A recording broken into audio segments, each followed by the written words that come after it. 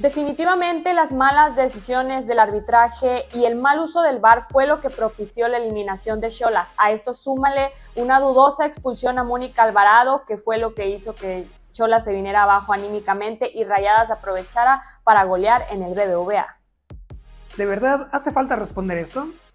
Obviamente, y a todas luces fue el arbitraje, porque hasta el momento de la expulsión de Mónica Alvarado, Juan Romo le estaba dando una exhibición táctica a Eva Espejo desde el partido de ida, ya venía así, pero justamente en el encuentro lo tenía muy controlado hasta que empezaron a caer la serie de errores arbitrales y todo esto derivó en los goles que terminaron dándole el pase a Rayadas. Lo que se ve no se pregunta, aunque fueron varios factores, el principal sin duda fue el pésimo arbitraje, esa expulsión extrema y rigurosa sobre Mónica Alvarado, cuando Cholas estaba en su mejor momento y exhibiendo a rayadas, pegó bastante duro, y no fue la única polémica, así que Tijuana se vino abajo y ya no se pudo levantar.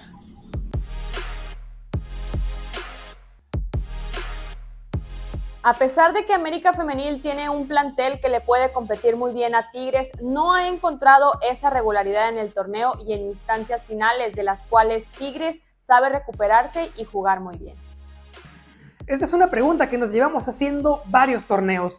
Eh, al menos en cuanto a números, parece que el América ya está listo para competir ahora sí contra Tigres Femenil. Tuvo una oportunidad en una final y la desperdició. Ahora, con un eh, técnico todavía más experimentado en este tipo de fases, tiene la oportunidad de oro para ahora sí dar el pasito y sentarse en la mesa de los grandes de la Liga MX Femenil.